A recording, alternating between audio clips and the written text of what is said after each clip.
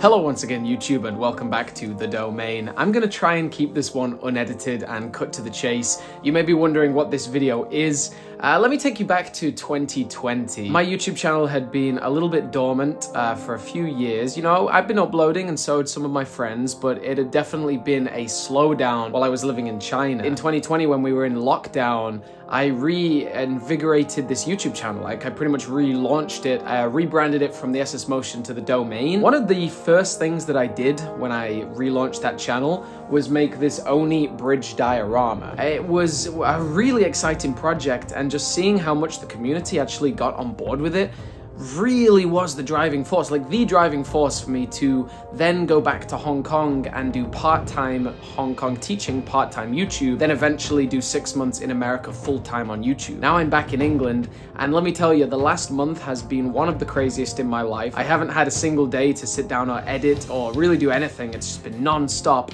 ready for my brother's wedding in a couple of days' time. Uh, but th there's always been a pressure at the back of my mind that I really wanted to make a new diorama video. So I spent a few hours last night and this morning redoing the entire Oni Bridge diorama. I'm really proud of it and there's going to be a full showcase of that coming out on Monday. And then after that video, I'm going to floodify it and do a flood firefight diorama. I just wanted to give you a heads up on what today's video is. It's a trilogy. The first three videos of the Oni Bridge diorama filmed in 2020, re-edited. The amount I could edit it is a little bit limited because I couldn't change the music. It was fixed to the clips, so I had to just do pans. But I've still put it into a better format. I did some color correction, that kind of stuff and I'm really proud of it. Like, I really love the Oni bridge diorama to begin with. I know it's one of the first videos that a lot of my fans followed on this channel, so I thought I'd bring it back, do a trilogy, like an extended all three episodes together with some better editing. So without further ado, I hope you guys enjoy the Oni bridge diorama trilogy. Here it is.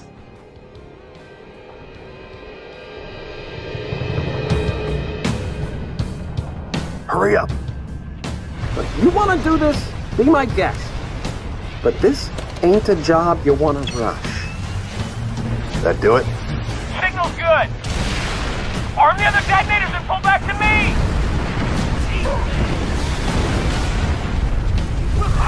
Yeah! Hello once again YouTube and welcome to another video with the SS Motion or the Domain as we're changing the name right now.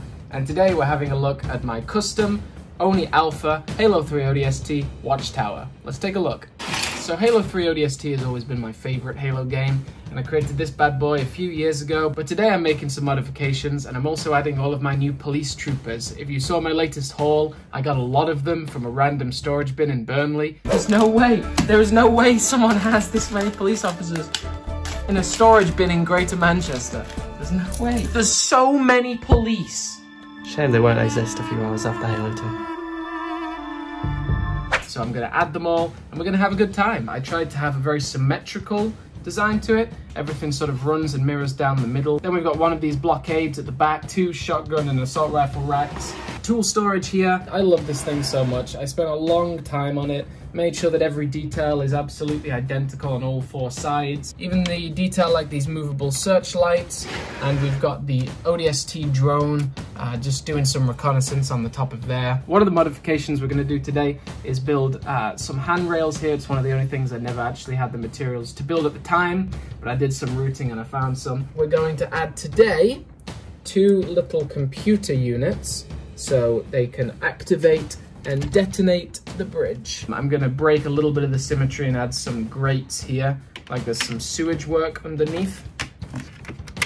Perfect. To make these handlebars, um, the actual piece I wanted is really difficult to find, but I found that some of the old um, armory bays came with these pieces here, which are kind of similar. So what I've done is I've got four of these, eight of these little pieces here. Then we just attach them on like so. We can just pop them on like this. I have dreamed about making this.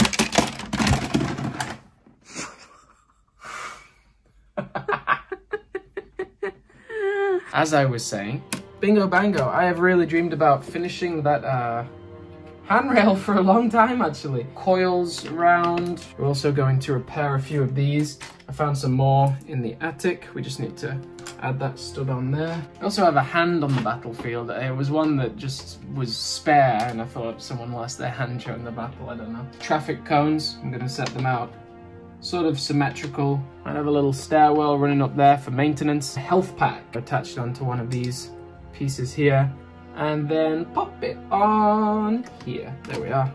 Little health pack ready to go.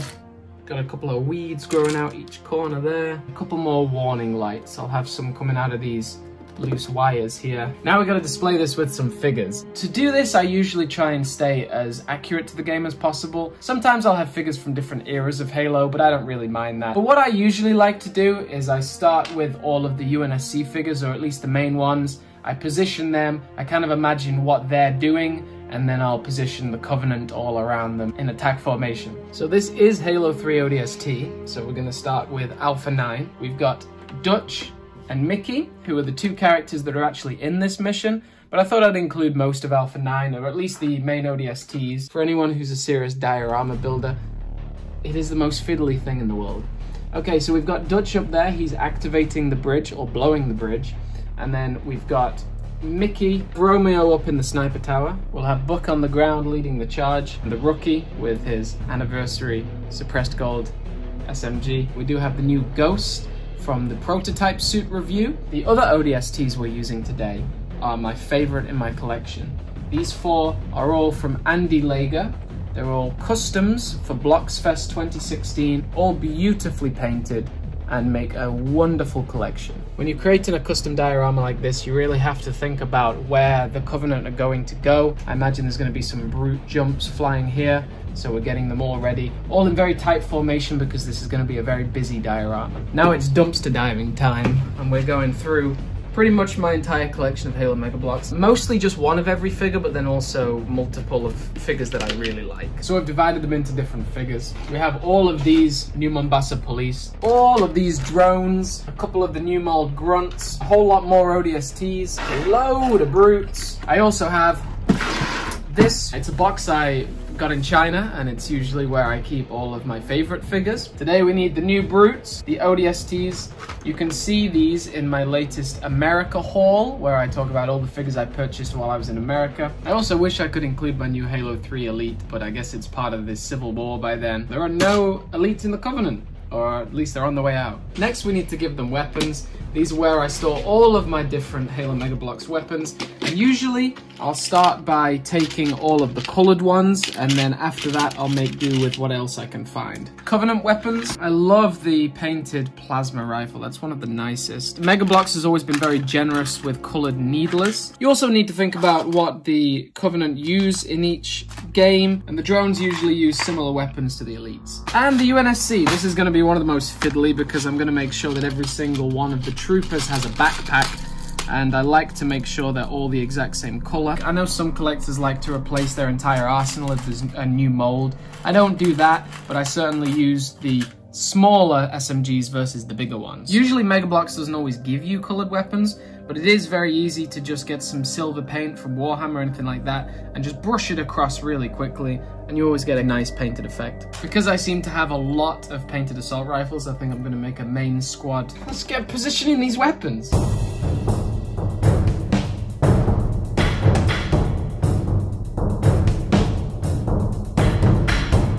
Know that seemed like a lot of work, but honestly when you're doing a diorama, you're best to lay out everything in front of you so you can figure out exactly what you want and what you need. And also, all of this stuff is not going to be used, but again, it's good to know what you have. Separate everyone into squads. So first of all, I've got all of these new Mombasa police. They're identical police, but I've made a squad commander, so he'll lead the charge, and I've added some Call of Duty accessories there. All of the badass looking police, basically all the ones that have different um, faces or different armor variants, they've all got the police shields, They've all got shotguns. The main squad leader has all of these Call of Duty accessories and a target locator. Remaining New Mombasa police, I just gave these a mix of either SOCOM pistols or suppressed SMGs. We've got these two ODSTs here. I've given him the drone ordnance and a suppressed SMG, and this guy's got one of the cool Decol flamethrowers. Two grunts, we've got one of them as a suicide grunt with the two grenades. Brutes, most of them have got spike grenades, and then some have got an assortment of weapons. I've given the nicest looking gravity hammer to this brute captain. Then we've got all the drones with either needlers or plasma pistols some hunters, and then some accessories, and some active camo brutes. And that's it, we're gonna start organizing this onto the display. So close your eyes and imagine how this diorama will turn out. Imagine exactly what's happening. A lot of people make the mistake with a diorama of just placing the figure and it doesn't have an intentional purpose. This is meant to be a screenshot from an actual battle. So he's reading off the drone, he's kind of staying in cover, and he's got his friend covering his back. Again, I'm positioning the UNSC first and imagining what they're doing, how they're engaging with the Covenant. We're going to have the jump pack brutes coming from either side. Now this guy has a target locator, so a couple of people again need to cover his back. They'll be forming a defensive perimeter with these shields to try and keep the brutes away. But always there's one that breaks through.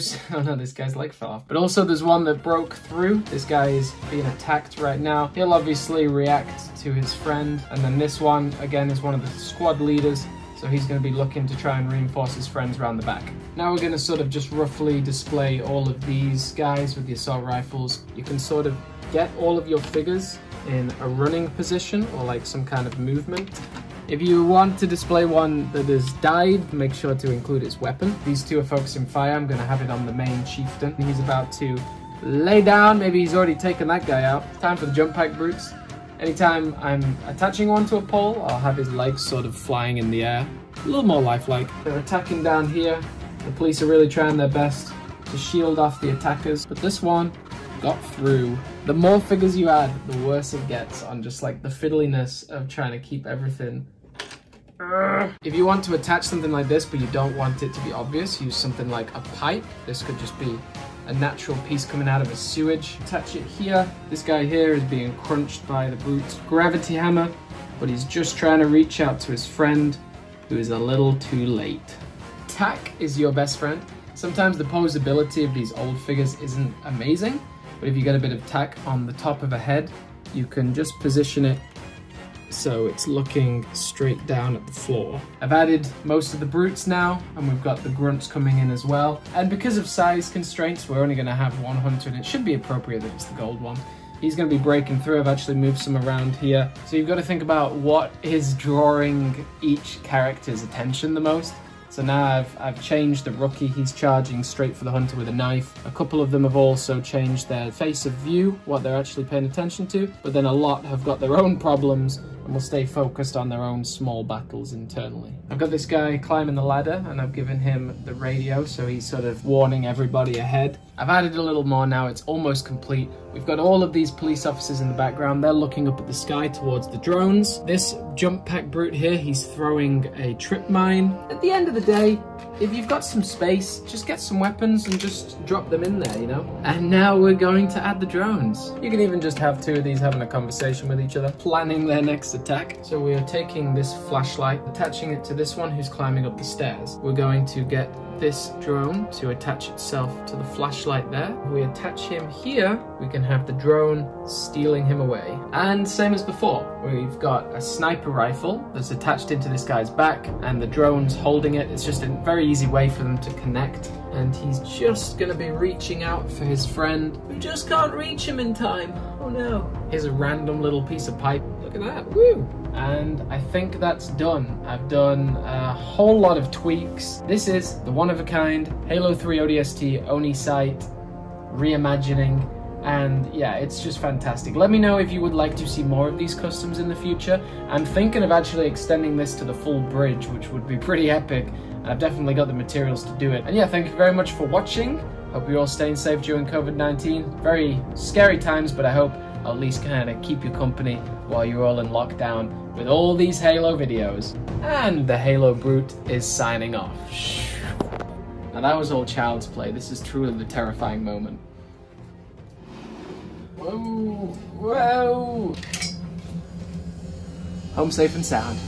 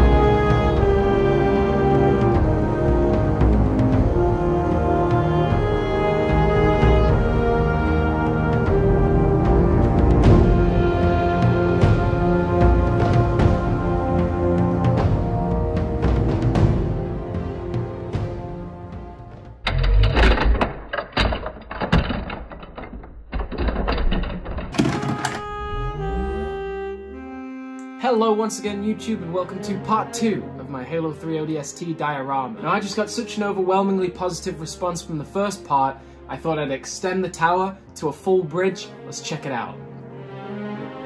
So the first part is the planning phase and we need to design this. So we're going to do some research by playing the mission and find out exactly what makes this bridge tick. So the beautiful thing about theatre mode is we can just pause and play whatever we need. Essentially, this is the start of the bridge, and we're gonna have the tower, the gateway there, and then extend the bridge out. So I got a lot of base plates in the attic. I, I took a couple of down. So I've got a lot of base plates in the attic. I took a couple of down, right? I took a couple of down. All right, we got some bad news. I just went in the attic to find the warthog and the scorpion for the video and I dropped the warthog out of the attic. So I'm gonna try and rebuild this, but hey, they are meant to be destroyed in the diorama, so that's good, I guess. Oh. oh. oh no.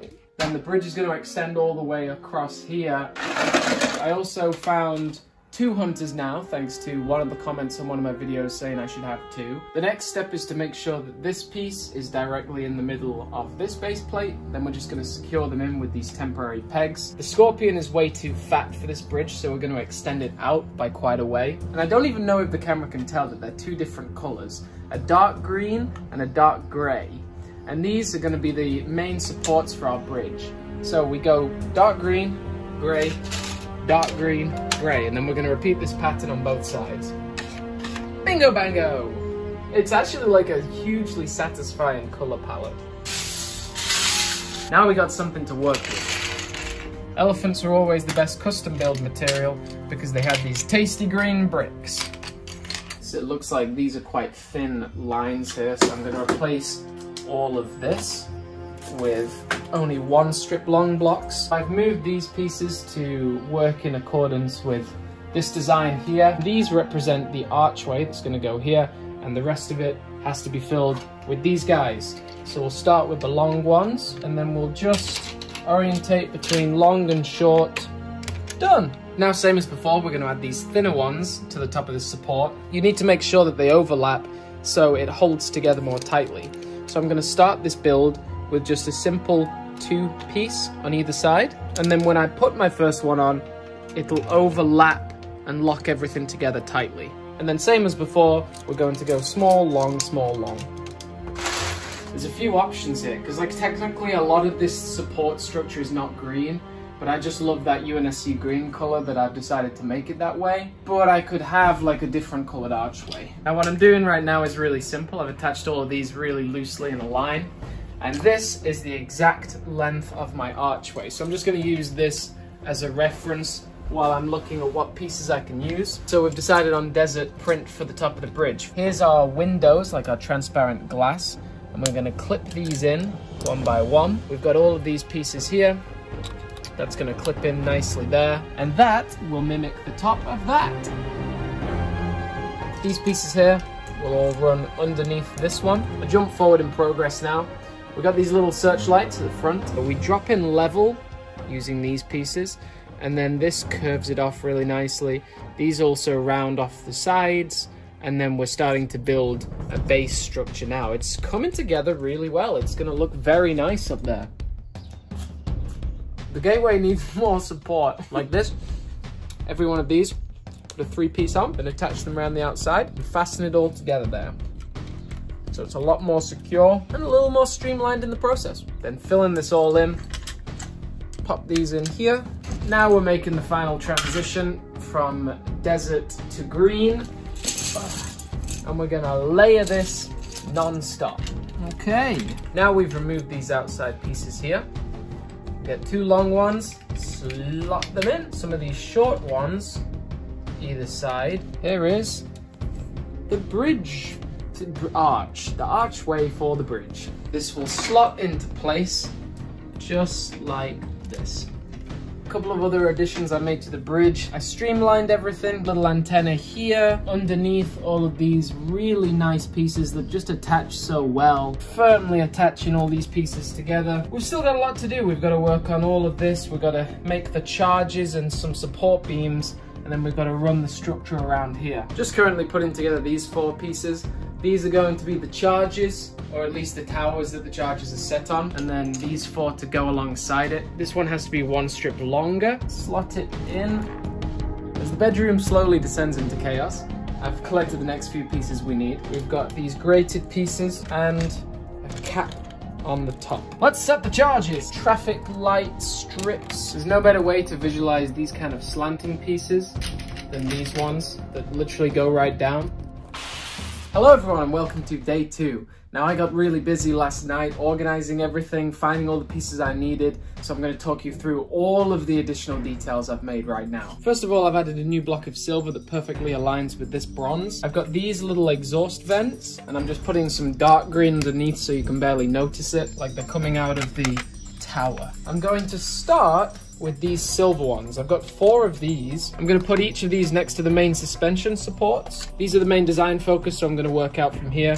I've got four of these ones, clip them either sides. I'm going to use this piece, the longer pieces, every two block interval. I've got some sewage grates running towards the middle. Ah, look at that, that's really starting to take shape. Cap off the top of my towers. Now we're gonna make the charges so the ODSTs can blow the bridge. We've got two pieces today, the turbine, and this little piece from an alien set. Going to get some tack, pop it inside the turbine. Usually I'd be a little more careful with tack showing on the piece, but it is a charge, so I would imagine it involves some putty.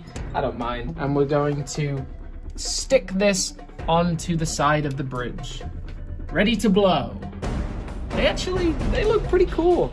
Happy with that. Is not an efficient way of doing this. I would not recommend it, but this is how I'm finding new pieces. The Mega Bloks Ferry keeps on giving. Now we've got a smooth section that literally runs the entire way across. Really nice design. We'll start by filling in these ones and use the smaller pieces, to fill in those gaps.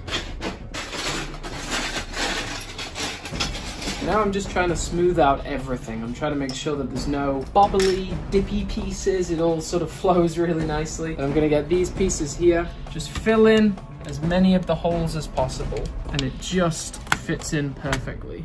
Flash forward like a billion hours. The whole thing is streamlined now. Everything is smoothed out. Yeah, I mean, it, it looks pretty wonderful now. Let's actually see how good it looks. I've made sure that the Scorpion can fit coming out of the gate like this. We'll add a few flames to them too. That is the majority of the bridge. I'm gonna do some more alterations and then I'm going to build up this side and then we'll see what it looks like.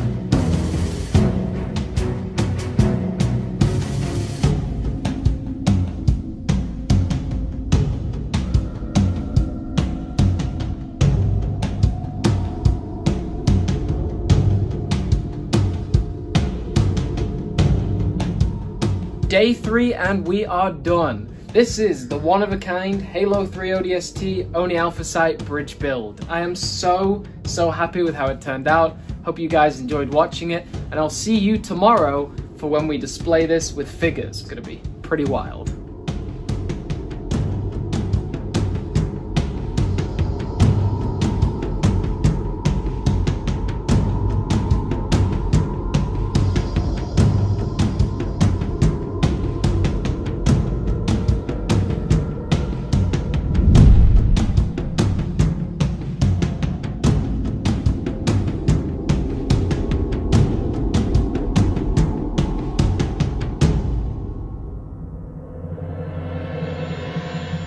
The streets of New Mombasa lay dormant and quiet, while Alpha 9 prepared for an imminent attack from the Covenant, and while their chances were slim, they would defend Oni Alpha Site till their dying breath.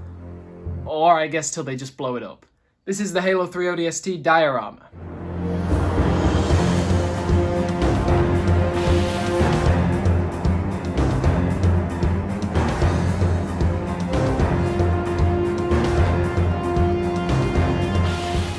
ODSTs have some backup. We're going to use a lot of the figures from the last build, but I've also found a lot more to use. We're going to have the brand new drop pod jackals and some brute honor guards, night patrol brute, a lot more jump pack brutes, new mold brutes, half AC jackal, and the legendary full AC jackal. Always get the coloured weapons above anything else. Really happy with this. Let's get it on the display. To UNSC and Covenant, because that's the two directions they're coming from.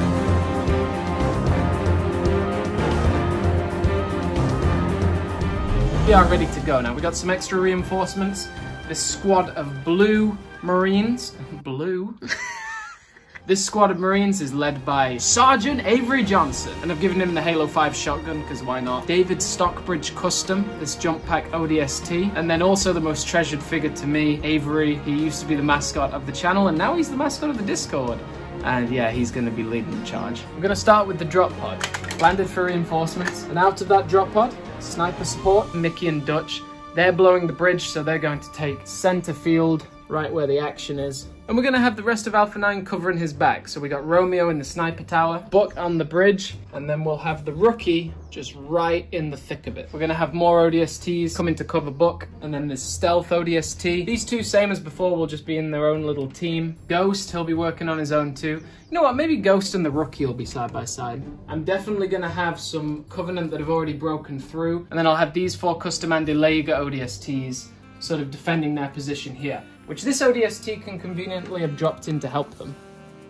Johnson must be leading a squad of Marines out of the building, so I'll put him by the main gate. We'll put one of the Marines on this turret and all of his Marines backing him up. We'll have all the Riot Shield boys. They're all defending the position of Mickey and Dutch. If they're defending it, one of them got knocked out. Jump Pack ODST straight in the thick of it, and Avery coming up to support his brothers too. I think I'll wait a little bit to display all the rest of the police officers, see where I'm at with the Covenant. Alright, let's get some Covenant bad boys in here. Flying over the top.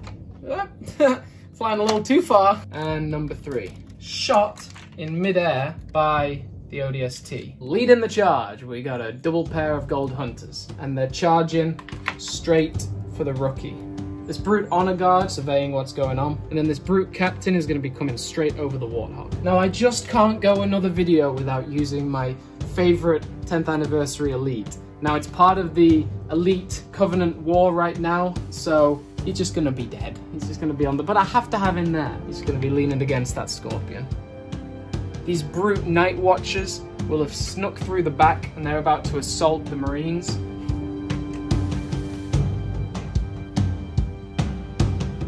These two white brutes, two grunts, balancing on the edge of a bridge there, very daring. Then we're going to have this fella on top of this support structure, again with just a bit of attack. Jackal Sniper at the back, looking to ruin someone's day on Legendary. So we'll put a load of them in this watchtower, have a couple of them aiming down at the street, and then we'll have this Grey Marine in the center of the watchtower, and he's radioing for backup. Wow, that was fiddly, but we got them all in. Now we're just gonna dot NMPD troopers wherever there's space. Now, this looks really good. We can just display loads around that drop pod over there.